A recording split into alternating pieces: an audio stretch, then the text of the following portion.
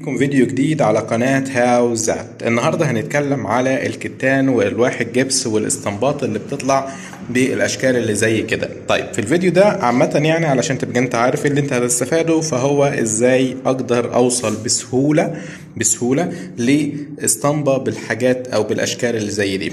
رقم واحد انت ممكن تعمل لها فورمة زي الفورم دي ثواني كده أهي. زي الفرم دي. ماشي. لو انت عايز اسطمبة فيها دورانات خاصة أو اسطمبة تبقى معاك تسحبها سحب. سحب بقى على لوحة على حاجات زي كده. يعني هتديك الشكل ده اهو. هو الشكل ده. فين الشكل ده؟ اللي هو ده. اهو فين وفين وفين؟ اهو ده. تمام؟ اهو. طيب. لكن لو انت بقى عايز تكسب وقت هتضطر تستخدم إيه؟ الفرم.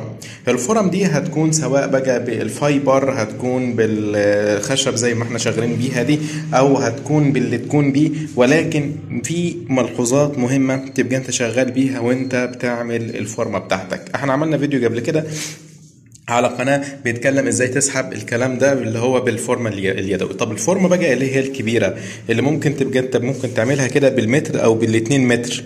يعني مثلا أوضة 4 متر تاخد لك مثلا إيه 3 4 من الالواح الفورم دي الجاهزة على طول تسحب معاك. لو أنت خاصة صنايعي مش هتاخد معاك وقت عن الفورم دي لأن الفورم دي أنت علشان تطلعها بإيدك تقعد تروح وترجع تروح وترجع ومحتاجة ظبط جامد.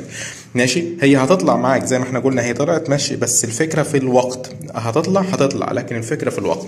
خاصة لو العميل أو لو أنت شغال الفورم العدلة. الفورم العدلة سهلة جدا في تأسيسها. يعني دي أهي متأسسة بالج... بالخشب. أهي بص متأسسة بالخشب بس لازم تكون خشبة عدلة طبعا تمام؟ عشان تطلع معاك فورم عدلة. أهي. ولكن الفكرة في الرسمة بتاعتها؟ رسمتها نفس فكرة رسمه دي لو انت مهتم وعايز تجيب رسمه دي وما تعرفهاش يعني اكتب لنا في ال commentات وإحنا هن يعني هصورها لك وهبعتها لك. أو هبقى أشرحها تاني في فيديو إزاي تصمم الاسطمبة دي نفسها. طب إزاي بقى تبدأ تشتغل؟ إزاي تبدأ بقى تشتغل؟ أول حاجة بعد ما بتبدأ تعمل اسطمبة زي دي زي ما إحنا قلنا بتبدأ تكفلها من هنا وبتبدأ تكفلها من هنا علشان تبدأ تصب. يعني إحنا هنا أهو بنكفلها بحاجة زي كده أهي كده خلاص وتبدأ تصب. ماشي؟ دي حاجة. تاني حاجة غذيها كتان بس بالشكل ده الأفضل علشان تبدأ تعرف تشيل بيها.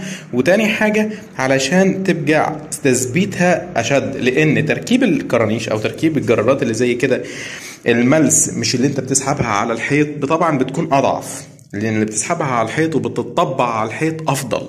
طيب أنا عايز أكسب وقت زي ما إحنا قلنا وعايزين نطلع شغل وننتج أكتر. فأنت أول حاجة هتدعمها بكتانة بكتانه نظيفة. تمام؟ علشان تبدأ تركب عدل تركبها حلو. حتى لو السماكة بتاعتها مش كبيرة بس لا لازم تركب لها أو تغذيها كتان. أهي بالطول بالكامل هتغذيها كتان.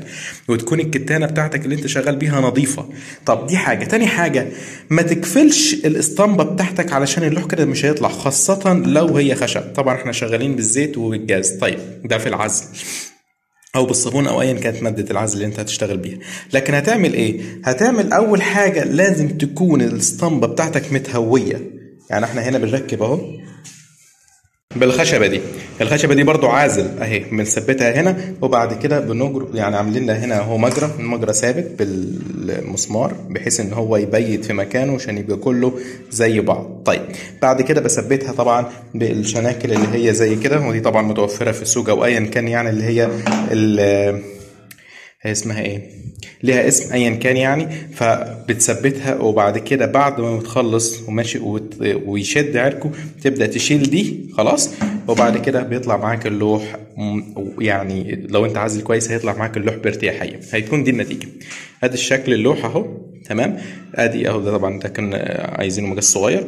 فبتكون آدي الصلابة بتاعته قوية جدا نظيف وخفيف في نفس الوقت مش مش اللي هو يعني حاجة كبيرة ولكن هيديك حقيقي إنتاج رائع رائع رائع. لو أنت عندك أي كومنت سيبه في التعليقات وإحنا هنرد عليك. سلام.